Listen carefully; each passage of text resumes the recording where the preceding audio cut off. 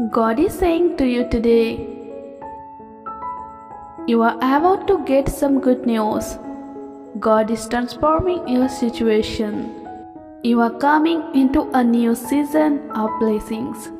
You are going to be notified that something has worked in your favor. Get ready for it.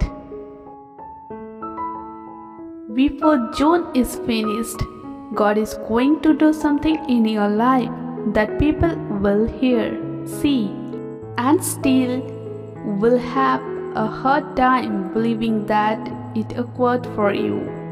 Major life changing opportunities are coming your way. Claim it and receive it by faith. In Jesus' name, Amen. Are you still confused? Then listen. The next thing God does for you and your loved ones will be big, miraculous, and mind blowing. Get ready for a shift because the best is yet to come. God is saying to you today, unexpected blessings are coming your way. You still move forward from really making it to having more than enough.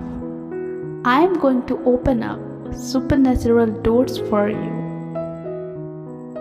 God will speak to the right people about you.